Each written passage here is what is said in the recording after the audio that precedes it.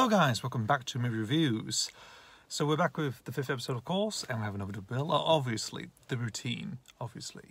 So let's just let's just briefly. I'm gonna try and breeze these through actually, just to just recording time really. So first we've got is Van Nuys Boulevard from 1979. This is directed by William Sachs, who later on to direct the science fiction core classic, which is Galaxina in 1980, obviously.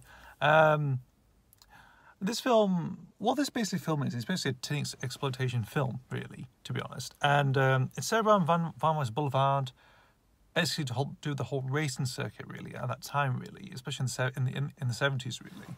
Uh, focused on a guy called Bobby who is from the Midwest and ends up going to Calif- um, down to Van, Nuys, you know, because he was intrigued uh, actually what the what the racing culture is like down there. So he ends up going ends up going down there he meets a girl called Moon and challenges to a race, and they end up well. Basically, this all started, but they end up being arrested by an officer called Zaz, police officer called Zaz. And um, while there, there's always there's a few other characters as well. You've also you've got um, what was it? Her best her best friend, Moon's best friend. I forgot the name of course. You've got Cooch, his real name's Leon, and you've got Greg as well.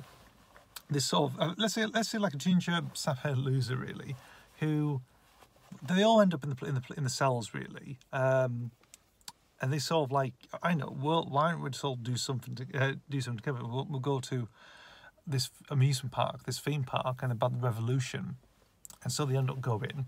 Um, Greg obviously challenges Cooch to go, uh, challenges him to try the revolution, think he's chicken, which he claims claims you know I ain't fucking chicken. So he ends on the right. He ends up he ends up vomiting. He does, and um, basically, you know, hijinks ensue really.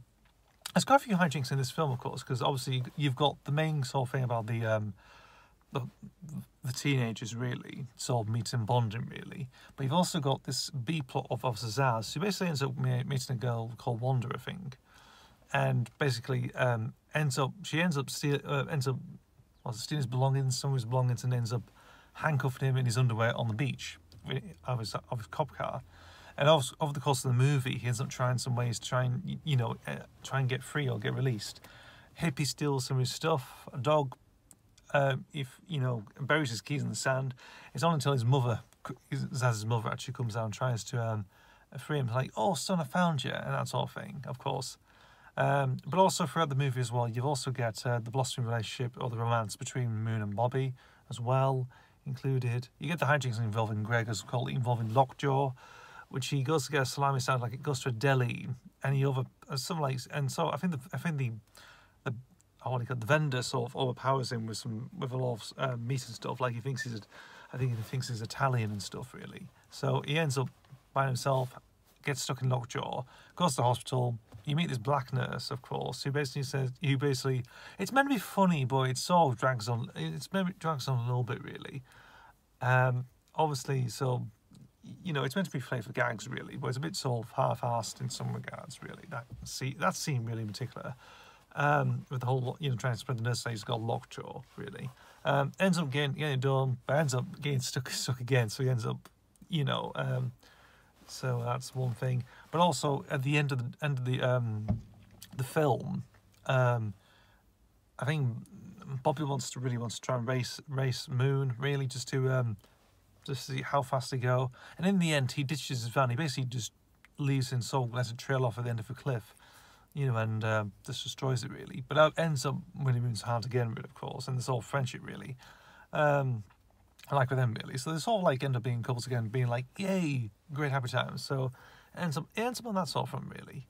So my understanding of this film really comes from uh, the actress of, of Cindy Wood, who was a playmate in 19, about 1973, really. So it's another one of those films that feature play by playmates, really, uh, which seems to be like a theme, really, because we had about three films already I've covered in this series about that one.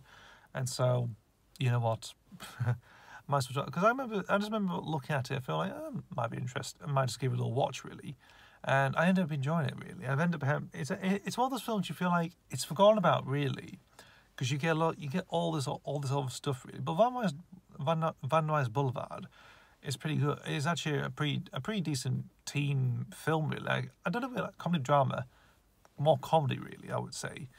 And um, I do like it actually. The soundtrack's pretty good as well actually because I, I recently listened to it Uh, it was was released on vinyl. It was, and it has that sort of disco edge to it, very funk and everything else, you know. And um, the whole title, I think the whole title thing, of course, involving, you know, some guy saying "Mama," and that sort of thing in like a in like a disco beat.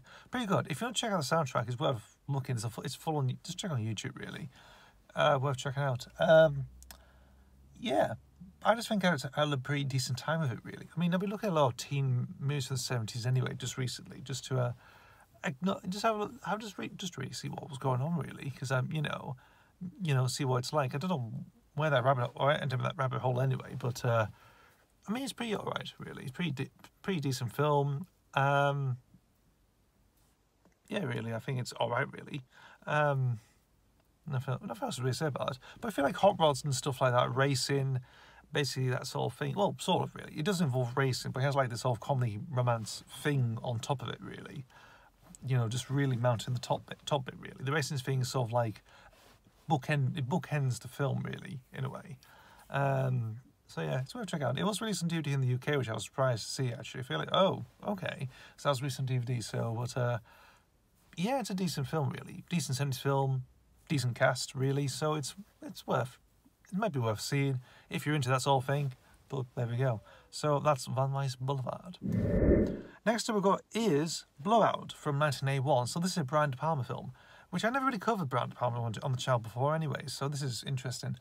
I've seen some of his films before. I mean, I've seen Mission Impossible, for, um, you know, from '96. Scarface is another one.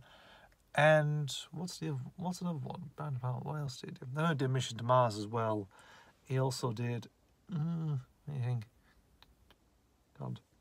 He also did Body Double as well, which actually it sort of it sort of has a thing. I mean, Body Double has a little key thing of how I discovered the film. Really, I was meant to watch that film anyway, just to really just check out, see what it's like. I sort of got, a little bit bored of it really. Then I moved on to Blowout really, and I really got invested in it. Really, I think it's a pretty decent film, really good film. It's one of John. I think it's one of John Travolta's best movies, actually, in my opinion. Um, it does have, it's got a Hitchcockian feel to it as well. I think I think De Palma mentioned in a few interviews that it was meant to be like that, really. Um, but it's sort of just re, uh, has a very sort of enjoyable edge to it. Re, uh, not really, well, not really. Yeah, enjoyable edge. I'm thinking of a different film entirely. I'm sorry, I'm tired, really. You know, work, everything else. So um, it does. It has that suspense of it. It does. It builds that suspense for the movie you get so the story goes is that this um, recording engineer, the sound engineer working for a film company, goes out one night and just records sound.